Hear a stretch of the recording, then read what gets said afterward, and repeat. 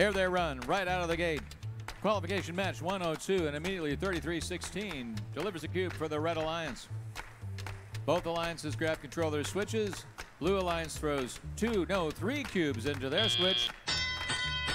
And coming off of Autonomous, Red Alliance is out in front with a score of 88 to 42.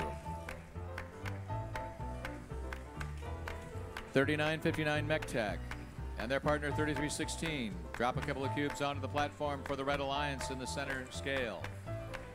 3250 Kennedy Robotics. They're finding some cubes to toss up there, but they're now trying to get around 3950.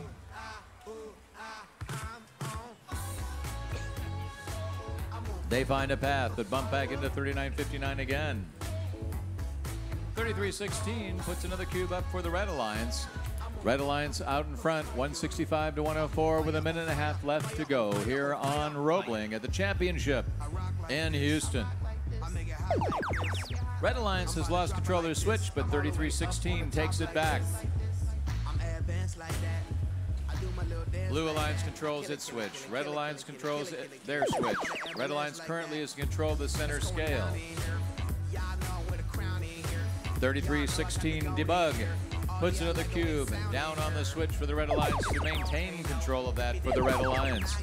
Blue Alliance is using a power-up, a boost rather, accelerating their score, trying to catch up to the Red Alliance.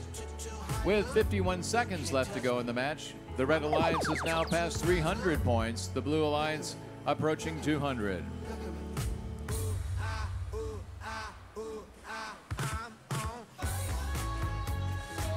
Red Alliance has completely nullified the Blue Alliance switch. Blue Alliance has stalled in point gathering. 3250 trying to grab control of the center scale for the Blue Alliance, but 3316 beats them to it. Debug reaches up, grabs onto the rung, climbs. They're in position for the final play.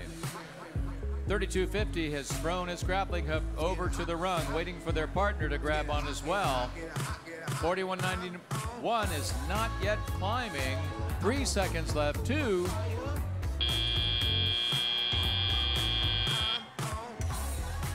Stand by for the score. This match is under review. And here comes your score for qualification match 102. It was the Red Alliance taking that match with a score of 585, the new high score here on Roebling at the championship in Houston. Three ranking